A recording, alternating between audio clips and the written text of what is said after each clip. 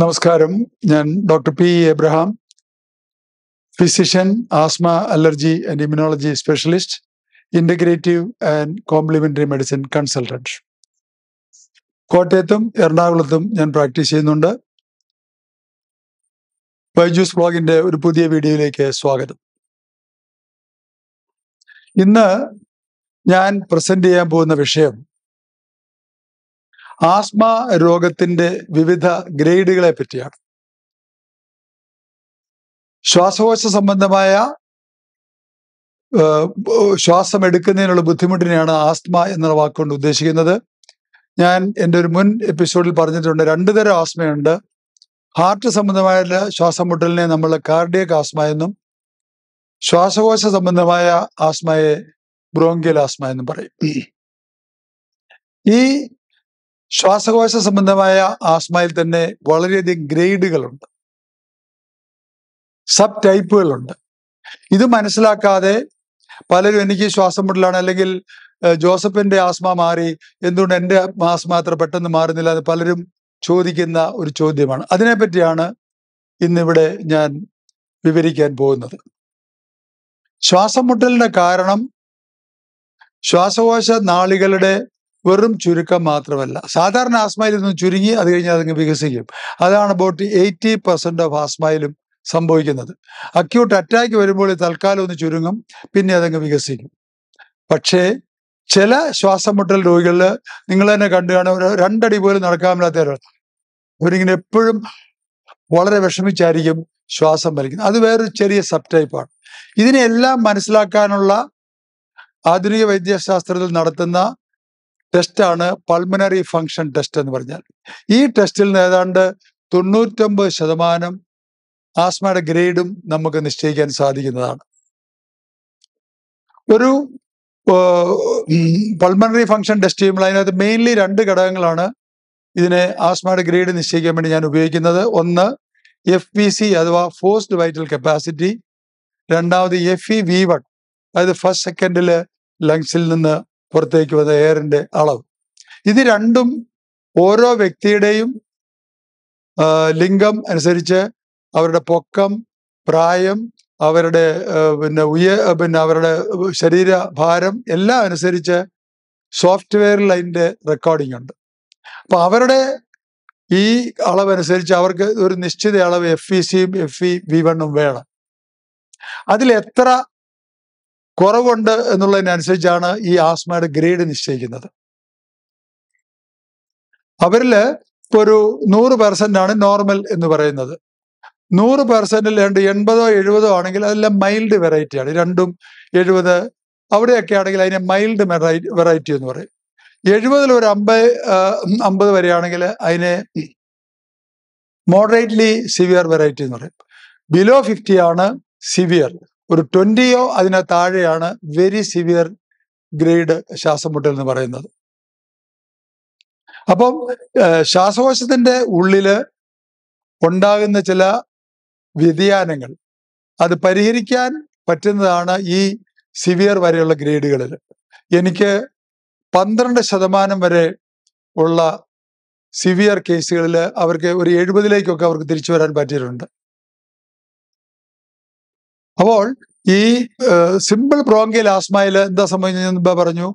ഈ ശ്വാസകോശ മസിലുകൾ ഏതാണ്ടൊന്ന് ചുരുങ്ങിയിരിക്കും കുറെ കഴിയുമ്പോൾ അതങ്ങ് വികസിക്കും. അപ്പോൾ അവർ ആസ്മയിൽ നിന്ന് ഇല്ലാതാവും. നിങ്ങൾക്കറിയാം തൊണ്ണൂറ് ശതമാനം ആൾക്കാരും ഇൻഹേലർ എടുക്കുന്നവരാണ്. ആധുനിക വൈദ്യശാസ്ത്രത്തിന്റെ മെയിൻ ട്രീറ്റ്മെന്റ് അത് മാത്രമേ ഉള്ളൂ. സ്റ്റീറോയിഡ് എന്ന് പറയുന്ന മരുന്നാണ്. അതിന് ലോങ് ടേമിൽ സൈഡ് എഫക്ട്സ് ഉണ്ട്. അപ്പോൾ ഇത് എടുക്കുമ്പോൾ തൽക്കാലം ഇന്ന് വികസിച്ചു പിന്നെ ഇതങ്ങോട്ട് ചുരുങ്ങി. പക്ഷേ ഒരു സ്ഥായിയായ ഒരു ക്യൂർ വന്നു കഴിഞ്ഞാൽ ഈ ചുരുക്കം പിന്നെ അവർക്ക് ഉണ്ടാകുന്നില്ല. അപ്പോൾ ഇതിന്റെ ഗ്രേഡിൽ ഒന്നുകൂടെ നമ്മൾ വിശദമായിട്ട് മനസ്സിലാക്കിയാൽ റിവേഴ്സ് ചെയ്യാൻ പറ്റാത്ത ചില ഗ്രേഡുകളുണ്ട്. അതിനെയാണ് മെഡിക്കൽ ലാംഗ്വേജിൽ സി ഒ പി ഡി എന്ന് പറയുന്നത്. ക്രോണിക് ഒബ്സ്ട്രക്റ്റീവ് പൾമണറി ഡിസീസ് അല്ലെങ്കിൽ പൾമണറി ഫൈബ്രോസിസ് അല്ലെങ്കിൽ എംഫസീമ ഇതെല്ലാം ആ വാക്കുകൾ കൊണ്ട് ആണ് ഉദ്ദേശിക്കുന്നത്. ഞാനിവിടെ ഒരു ചെറിയ ഉദാഹരണ സഹിതം അതിനെ മനസ്സിലാക്കി തരാം. എന്തുകൊണ്ടാണ് ചിലർക്ക് ഈ സി ഒ പി ഡി അല്ല പൾമണറി ഫൈബ്രോസിസ് വരുന്നത്? അതിന്റെ ഒരു പ്രധാന കാരണം ചിലരുടെ പ്രത്യേകതരം ഇപ്പൊ നമ്മൾ തന്നെ ചിലരുടെ തൊക്കെടുത്തു കഴിഞ്ഞാൽ അവരുടെ തൊക്കിൽ വളരെ റഫായിട്ടുള്ള തൊലികൾ അതുപോലെ തന്നെയാണ് അവരുടെ ആന്തരിക അവയവങ്ങളുടെ ഘടനയും. എന്ന് പറയുന്ന പോലെയാണ്. ഇപ്പൊ ഞാൻ ഉദാഹരണത്തിൽ പറഞ്ഞാൽ നമ്മളൊരു തേങ്ങ പൊതിച്ചിട്ട് അതിന്റെ തൊണ്ട് എടുത്തു കഴിഞ്ഞാൽ അതിനെ നനച്ചോണ്ടൊക്കെ റെഗുലറായിട്ട് ഇരുന്നാൽ അതെന്നും ഏതാണ്ട് ആ ഘടനയിലിരിക്കും. അതിന് പകരം അതിനെ വെയിലത്തിട്ട് ഉണങ്ങിയിട്ട് അടിച്ച് അതിനെ ചകിരിയാക്കി എന്ന് വിചാരിക്കുക. ഈ ചകിരിയാക്കി ഒരു സ്റ്റേജിൽ നിന്ന് അതിനെ തിരിച്ച് തൊണ്ടിന്റെ സ്റ്റേജിലേക്ക് തിരിച്ചു കൊണ്ടുപോകാൻ വിഷമമാണ്. ആ ചകിരിയാക്കിയ സ്റ്റേജിനെയാണ് ഫൈബ്രോട്ടിക് സ്റ്റേജ് എന്ന് പറയുന്നത്. നമ്മുടെ ലങ്സിന്റെ ടിഷ്യൂസിൽ വികസിക്കുന്ന ഒരു ഒരു ഘടനയുണ്ട് ഇലാസ്റ്റിസിറ്റി എന്ന് പറയും.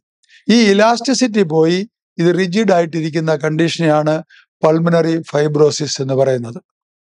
അഥവാ സി ഒ പി ഡി എന്ന് പറയുന്നത് എല്ലാം ഏകദേശം കണക്കാണ്. പിന്നെ ഒരു ഒരു ക്ലിനിക്കൽ കണ്ടീഷൻ കൂടെ ഉണ്ട്. അതിന്റെ പേരാണ് industrial lung disease I L D എന്ന് പറയും. അതായത് അതും ഒരു ഫൈബ്രോട്ടിക് സ്റ്റേജിലേക്കുള്ള ഒരു പോക്കാണ്. ഇത് കൂടുതലും ഈ ഫൈബ്രോസിസോ സി ഒ പി ഡിയോ ലേഡീസിൽ വളരെ ചുരുക്കമായിട്ടേ കാണാറുള്ളൂ. ആണുങ്ങളിൽ കാണുന്നതിന്റെ പ്രധാന ഒരു കാരണം അവരുടെ പുകവലിയാണ്. ഈ പുകവലിച്ച് വലിച്ച് ഇവരുടെ ശരീരത്തിൽ ശ്വാസകോശത്തിൽ ഉണ്ടാകുന്ന ചേഞ്ചാണ് ഈ ഫൈബ്രോട്ടിക് ലെവലിലേക്ക് ഇവരെ കൊണ്ടുപോകുന്നത്. ഞാൻ എല്ലാവരോടും പറയും പ്രത്യേകിച്ച് ഒരു കുടുംബത്തിൽ ആർക്കെങ്കിലും ആസ്മാറ്റിക് ബാക്ക്ഗ്രൗണ്ട് ഉണ്ടെങ്കിൽ ഒരു അച്ഛനോ ഉണ്ട് അല്ല അമ്മയ്ക്കോ ഉണ്ടെങ്കിൽ മക്കൾ പുകവലിക്കുന്നുണ്ട്. ഞാൻ അവരോട് പറയും തീർച്ചയായിട്ടും നിങ്ങൾ ഒരു ഇറപ്പിയാറബിൾ സ്റ്റേജിലേക്ക് നിങ്ങൾ നിങ്ങളെ തന്നെ നേരത്തെ കൊണ്ടുപോവുകയാണ്. ഈ ഫൈബ്രോട്ടിക് സ്റ്റേജിലേക്ക് ഇവർക്ക് പോകുവാനുള്ള ചാൻസ് വളരെ കൂടുതലാണ്. അതുകൊണ്ട് നേരത്തെ ഇത് അറിഞ്ഞ് ചെയ്യുക. ലേഡീസിൽ പലരും ചിന്തിക്കും എന്തുകൊണ്ടാണ് ഈ ഫൈബ്രോട്ടിക് സ്റ്റേജസ് വരുന്നതെന്ന്? അവർ പുകവലിക്കുന്നില്ല. അവരിൽ അവരുടെ ഭർത്താക്കന്മാര് ഇവരുടെ അടുത്തിരുന്ന് സ്ഥിരം പുകവലിക്കുകയാണെങ്കിൽ ഇവർക്ക് ഇത് വരാനുള്ള ചാൻസും വളരെ കൂടുതലാണ്. അതിനെയാണ് പാസീവ് സ്മോക്കിംഗ് എന്ന് പറയുന്നത്. ഈ പാസീവ് സ്മോക്കിംഗ് കൂടാതെ ഞങ്ങളുടെയൊക്കെ ചെറുപ്പകാലത്ത് ഞങ്ങളുടെയൊക്കെ വീടുകളിൽ കൂടുതലും ഇന്നത്തെ പോലെ ഗ്യാസ് അല്ല. അന്ന് വിറകടുപ്പാണ്. പക്ഷേ ഈ മഴക്കാലത്തൊക്കെ ഈ കുട്ടനാടൻ പ്രദേശങ്ങളിൽ അല്ലെങ്കിൽ അപ്പർ കുട്ടനാട്ടിലൊക്കെ ഈ മടലും ഇതൊക്കെ വെക്കുന്നത് നനഞ്ഞതായിരിക്കും. ആ പുകയുടെ ഒരു കളിയാണ്.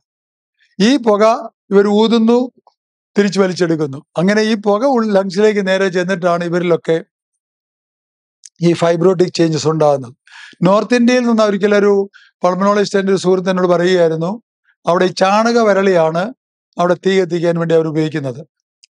ഇത് ഉപയോഗിച്ച് ഉപയോഗിച്ചാണ് ഇതിന്റെ പുക ശ്വസിച്ചാണ് ലേഡീസിൽ അവിടെ ഈ ഫൈബ്രോട്ടിക് ലങ് ഉണ്ടായത്.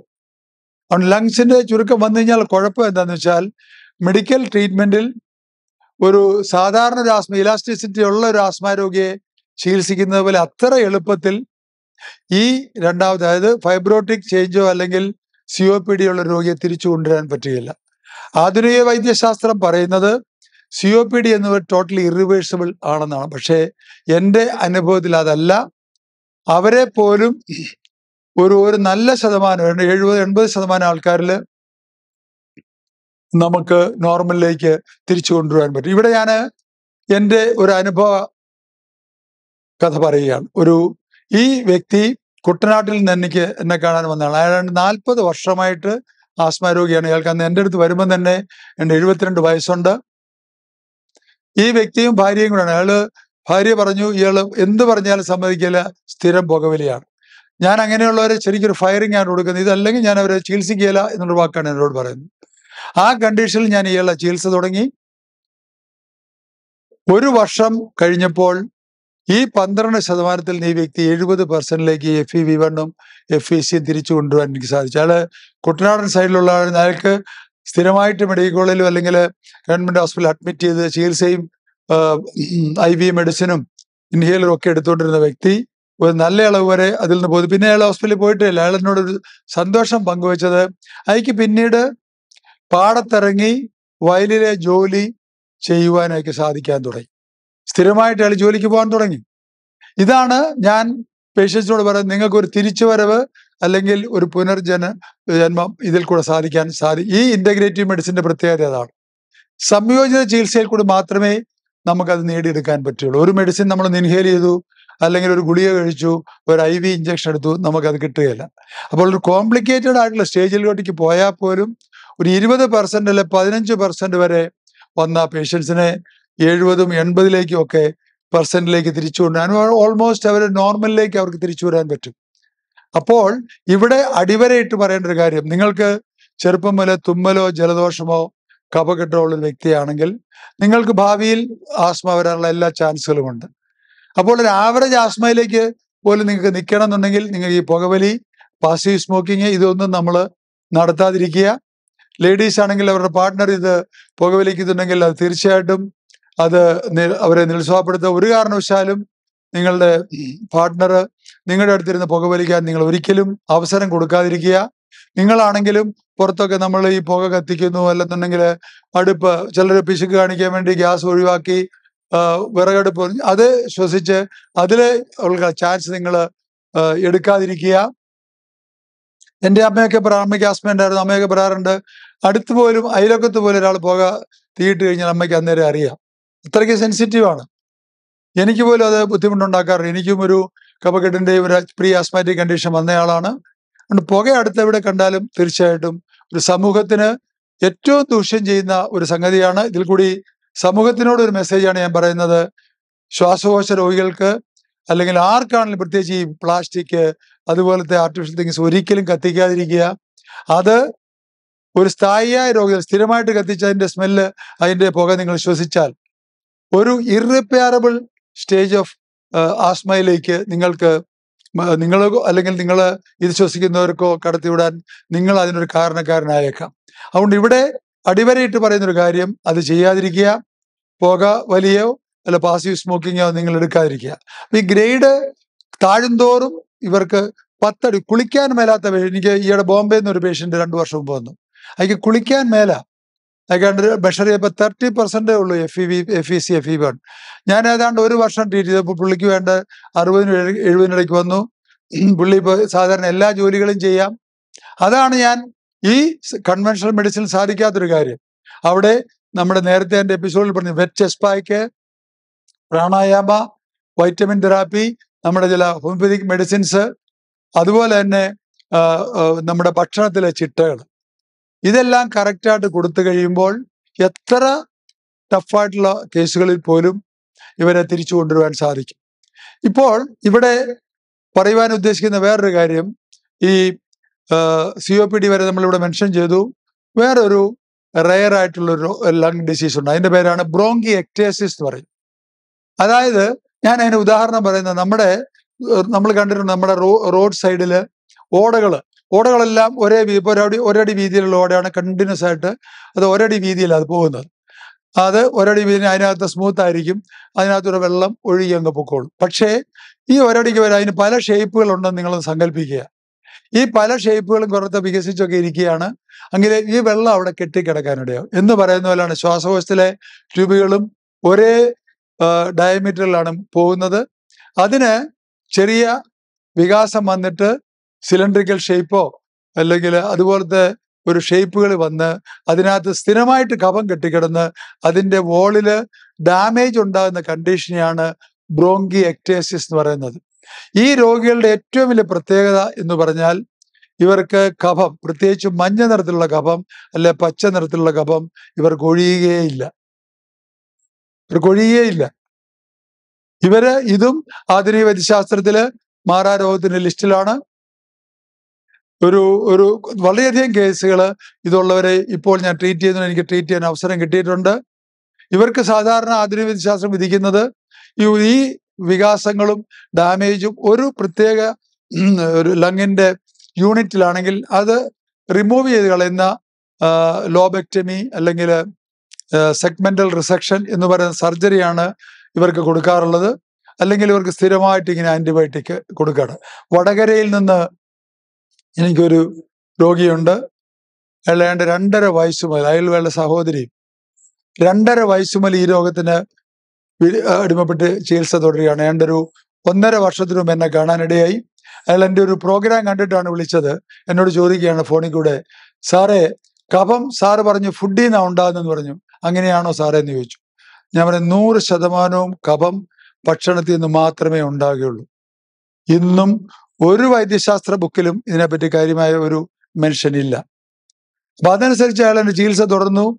ബ്രോങ്കി ഇന്നിപ്പം അയാൾ എന്നെ കാണാൻ വരുന്ന അവസരത്തിൽ ഒരു മാസത്തിൽ ശരാശരി പതിനഞ്ച് ദിവസം ഹോസ്പിറ്റലിൽ അഡ്മിറ്റ് കിടക്കുന്ന രോഗിയായിരുന്നു. ഇന്ന് കഴിഞ്ഞ ഒരു ഒന്നര വർഷ ചികിത്സ കൊണ്ട് ഒരു വർഷത്തിൽ കൂടുതലായിട്ട് അല്ല എന്നെ കാണാൻ വന്നതെന്ന പോലെ തന്നെ പിന്നീട് ആശുപത്രി പോയിട്ടില്ല. അയാൾ സ്റ്റീറോയിഡ് എടുത്തുകൊണ്ട് അതിൽ നല്ല ശതമാനം കുറച്ചു. എന്നെ കാണാൻ വരുമ്പോഴും ഓക്സിജൻ സിലിണ്ടറും ഓക്സിജൻ എടുത്തുകൊണ്ടാണ് കാറിൽ വന്നത്. ഇപ്പോൾ കണ്ടിന്യൂസ് ആയിട്ട് ഓക്സിജൻ എടുക്കേണ്ട അവസരമില്ല. ഒരു നോർമൽ ലൈഫിലേക്ക് ഓൾമോസ്റ്റ് അയാൾ മടങ്ങുന്നു. കഫം നിൽക്കുകയും ചെയ്തു. അപ്പൊ കഫത്തിന്റെ ഉൽപാദനത്തെ ആ, പ്രേരിപ്പിക്കുന്ന ഭക്ഷണ ഘടകങ്ങളെ നമ്മൾ നിയന്ത്രിച്ചുകൊണ്ടുള്ള ഒരു ചികിത്സ അവിടെ കൊടുത്തു. അതിൽ നിന്ന് ഒരു നല്ല ശതമാനം രോഗത്തിൽ നിന്നുള്ള മുക്തി കിട്ടി. അങ്ങനെ ഇതാണ് ശ്വാസം മുട്ടലിന്റെ ഡിഫറെന്റ് ഗ്രേഡ്സ് എന്ന് ഞാൻ ഉദ്ദേശിച്ചത്. അപ്പൊ എല്ലാവരും വിചാരിക്കും എന്റെ ശ്വാസം മുട്ടലും അടുത്തയാളുടെ ശ്വാസം അതിന്റെ അടുത്തയാളുടെ ശ്വാസം മുട്ടലും ഒരേ വിധത്തിൽ. എന്തുകൊണ്ടാണ് ഒരാൾക്ക് നേരത്തെ മാറി ഒരാൾക്ക് താമസിച്ചു മാറി ഒരാൾക്ക് ചിലപ്പോൾ മാറാൻ വളരെയധികം താമസം എടുക്കുന്നത് ഈ ഗ്രേഡ് കൊണ്ടാണ്. അതിന്റെ ഇന്നർ അതിന്റെ ഡീറ്റെയിൽസ് ഡിഫറെന്റ് ആണ് ഓരോരുത്തരിലും അത് മനസ്സിലാക്കി കൊടുക്കാനും ഞാൻ എപ്പോഴും ശ്രമിക്കാറുണ്ട്. എന്റെ ഇന്നത്തെ ഈ ഈ ടോക്ക് നിങ്ങൾക്ക് അതിനെപ്പറ്റി ഏകദേശം ഒരു ധാരണ കിട്ടി എന്ന് വിചാരിക്കുന്നു. നന്ദി നമസ്കാരം.